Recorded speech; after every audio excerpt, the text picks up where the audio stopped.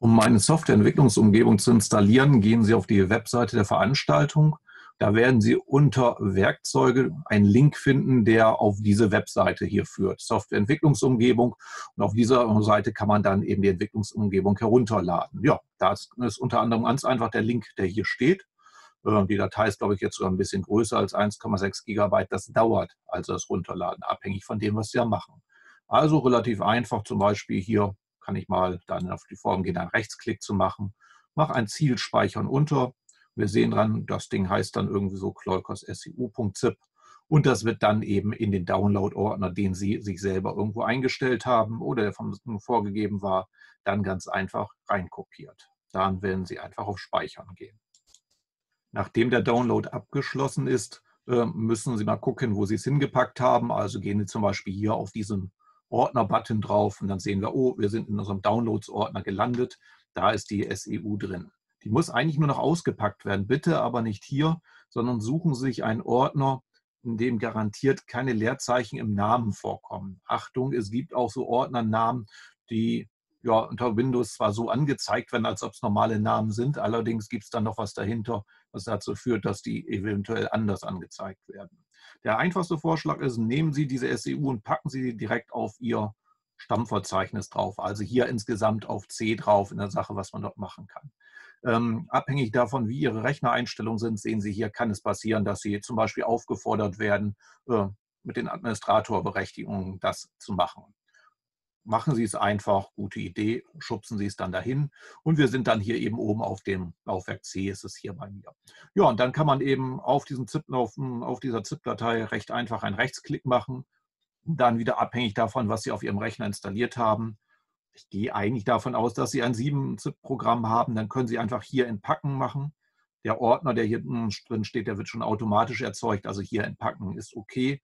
Oder man muss eben dann etwas anderes hier oben einfach das alle extrahieren wählen. Dann sehen Sie, dann steht hier auch noch was drin. Ähm, das sieht auch brauchbar aus, was wir dort haben. Und ich nehme mal dieses Programm. Das Extrahieren, was jetzt so langsam dann hier beginnt, äh, ja, wird etwas dauern dann. Sie sehen hier, dass bei dem normalen Windows-ZIP-Programm ich da auch eine schöne Variante reinkomme, dass hier oben steht keine Rückmeldung und ich dann mein Laufsymbol habe. Das ist unkritisch, weil das dauert ganz einfach, bis das relativ große Verzeichnis gelesen wird. Und dann kann man also auch mit diesem Windows-Programm die Sachen auspacken. Wenn Sie es genau sehen, sehen Sie, dass hier erstmal so ein bisschen analysiert wird und dann dauert das Auspacken, abhängig von der Geschwindigkeit Ihres Rechners, durchaus ein bisschen, bis alle Dateien dann da sind. So, jetzt ist schon einiges an Zeit ins Land gegangen. Ähm, und Sie sehen, es dauert wirklich beim Auspacken einige Zeit, bis das überhaupt fertig ist. Der Vorschlag ist hier eine Restdauer von 16 Minuten, wobei ich die Erfahrung habe, dass dieser Wert gerade bei dem Windows-ZIP-Programm nicht wirklich zuverlässig ist. Und das kann durchaus noch ein bisschen länger dauern. Das heißt also, das sind klassischerweise Schritte, die man nebenbei macht, wo man nicht unbedingt vorm Rechner sitzen bleibt und dann wartet, was passiert. So, nach einiger Zeit ist der Ordner ausgepackt und wir sehen hier dran, es ist ein Ordner Kleukos SEU entstanden, der im Ordner Kleukos SEU drin ist. Das ist kein großes Drama, aber zeigt, dass ich keine Ahnung von dem Windows-ZIP-Programm habe. Und das kann Ihnen auch passiert sein mit einem anderen ZIP-Programm, macht aber nichts. Wir können das Ding ja relativ einfach verschieben. Also machen wir hier zum Beispiel einen Rechtsklick drauf und machen äh, das so, dass wir eben das Ding einmal ausschneiden und dann dahin gehen, wo wir eigentlich hin wollten. Dann hier die Sache einmal hineinfügen. Also hier einmal einfügen machen. Eine Form, wie es aussieht. Das dauert relativ kurz und dann ist das Ding da. Wir können nochmal reingehen und dann sieht der Ordner so aus. Also abhängig davon, welche Version Sie haben. Das Wichtigste hier dran ist, alles, was hier oben dran ist an Ordnern, äh, ist zwar vielleicht ganz nett mal zum Angucken, aber bitte gehen Sie nicht rein und starten Sie da Programme. Also Sie wissen ganz genau, was Sie machen. Und das wissen Sie nicht unbedingt, weil alle Startinformationen stecken hier unten drin. Deswegen steht hier drin, Programmstart nur mit Standarddateien, mit Startdateien.text. Also nutzen Sie die Batch-Dateien, die hier stehen, für das jeweilige Programm, was Sie brauchen. Ähm, Sie brauchen für keine Veranstaltung alle davon. Meist sind eins, zwei, drei davon interessant. Dafür gibt es unter anderem hier eine PDF-Datei, die, wenn man sich äh, die dann anguckt, eben ja, äh, einfach die Information enthält, was Sie eigentlich dann genau benötigen. Aber ich sage, der Tipp ist, schmeißen Sie nichts weg, nutzen Sie es ganz einfach. Wenn Sie es angucken, hier steht dann eben für die Veranstaltung, welche Programme auf jeden Fall benötigt werden und was man da so hat. In diesem Ordner drin nebenbei stehen auch die Lizenzen der jeweils benutzten Werkzeuge. Ähm, wichtig ist nur, die Lizenzen habe ich natürlich nicht verändert und sie ändern sich auch nicht dadurch, dass ich sie nutze. Sie sind alle zum Lernen frei, das heißt also für nicht kommerzielle Sachen garantiert nutzbar. Die Entwicklungsumgebungen sind auch für kommerzielle Sachen nutzbar. Trotzdem, falls Sie was Kommerzielles machen, gucken Sie sich nochmal genauer an. Und als nächstes gilt natürlich auch, ich übernehme null Verantwortung dafür, dass da ja überhaupt irgendwas funktioniert. Also wenn Ihr Rechner irgendwie sich auflöst oder sowas, was dann passiert, nachdem Sie eine Startdatei angeklickt haben, ja, dann ist es tragisch, aber nicht meine oder die Verantwortung der Hochschule. Äh, falls es natürlich andere, kleinere Probleme gibt, gerne eine E-Mail an mich. Ich werde das gegebenenfalls dann irgendwann mal patchen, sodass es dann eventuell eine Information gibt auf der Installationsseite oder so, wie man einen kleinen Workaround machen kann. Ja, und diese Batch-Dateien darf man sich natürlich mit dem Editor angucken. Das ist auch kein Hexenwerk. Ich habe auch nicht die größte Ahnung von Batch-Dateien, gebe ich dazu. Die konnte man auch noch ein bisschen optimieren, aber ist völlig egal. Das heißt also, gerade so, wenn Sie Erstsemester sind, brauchen Sie im Besonderen das BlueJ. Und immer, wenn Sie irgendwas mit BlueJ machen wollen, klicken Sie einfach hier drauf, dann Doppelklick und starten dann das. Ja, dann sehen Sie hier dran, dass es da ab und zu noch solche Meldungen gibt, abhängig von Ihren Virenprogrammen und sonstigen Sachen. Äh, nicht ausführen ist irgendwie nicht so nett, dann was man dort macht. Also sollte man dann hier sich das angucken, ups, und dann eben hier auf weitere Informationen gehen, in der Sache, was wir dort haben. Und dann sehen wir dran, unbekannter Herausgeber. Und da machen wir trotzdem ausführen. Das gilt für diverse andere Programme auch, wenn Sie sie da starten, dass man da ein bisschen aufpassen muss. Ja, und das ich, kann ich Ihnen auch nicht generell zeigen, weil das hängt wirklich wieder davon ab, ähm, ob Sie dann irgendwie noch einen anderen Virenscanner und sonstiges einge eingebaut haben. Ja, gucken wir mal an, was macht das Ding denn hier. Ja, und da gibt es sogar noch so eine kleine Werbung mittlerweile. Dann kann man also in die Tonne topfen. Und wir sehen, ah, es funktioniert. Da ist zumindest ein BlueJay, ob es wirklich funktioniert, müsste man jetzt noch genauer ausprobieren. Diese schwarzen Fenster, die hier nebenbei sind, da sieht man auch drin im Wesentlichen, was in der Batch-Datei gemacht wurde. Auch alles definitiv kein Hexenwerk. Ähm, einfach ignorieren oder klein machen. Bitte nicht schließen und wenn Sie schließen, ist das Programm selber auch weg. Das sollte man bitte dringend vermeiden, was da so drin steckt. Ja, also kann man dann damit die einzelnen Programme starten und kann sie dann eben schrittweise nutzen. Die Installation nebenbei hätte ich auch auf einem USB-Stick machen können.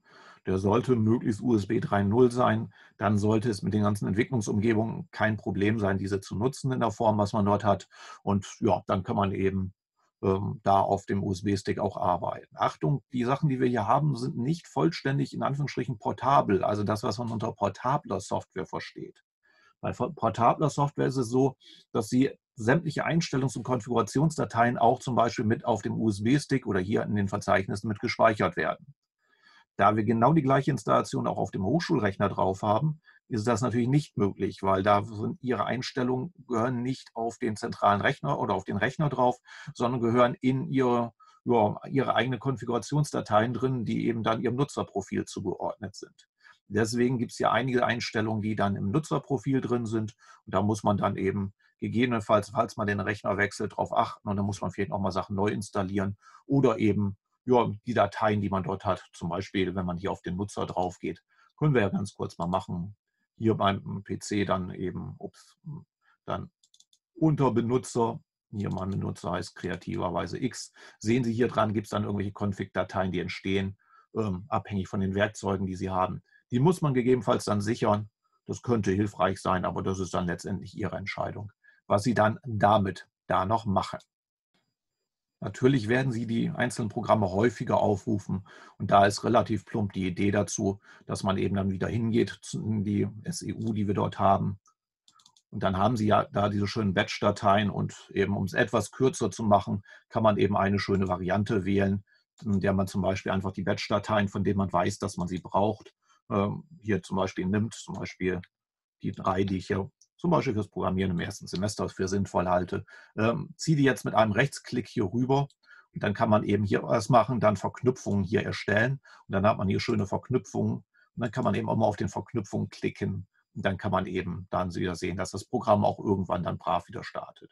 Geht genauso schnell oder langsam wie vorher auch, ist dann ganz einfach ja, eine einfach etwas kürzere Variante zur Nutzung. Dieses Anlegen der Batch-Datei nebenbei geht im, auf dem Hochschulrechner auch, wird dann eben, da alle Einstellungen im lokalen Verzeichnis drin sein, auch auf jedem Rechner drauf sein oder kann auf jedem Rechner genutzt werden, auf dem Sie sich dann einloggen in der Form, was man da machen kann. Ja, das ist also dann die Grundidee. Hier nebenbei nochmal so als Drama, wenn ich hier auf X drauf gehe, macht es plupp und dann ist auch mein BlueJay weg. Ähm, ich hatte hier, glaube ich, sogar noch ein altes im Hintergrund, aber das ist eben dann das, was man dort hat. Vielleicht für Leute, die noch ein bisschen spielen wollen, falls Sie mit den Einstellungen, die ich hier habe, irgendwie genauer spielen wollen, braucht man dieses Konsolenprogramm dafür. Also wenn man das hier aufmacht, kriegen wir wieder die traurige Meldung, sagen mal, wir wollen es trotzdem machen, trotzdem ausführen, dann sehen wir es hier drin.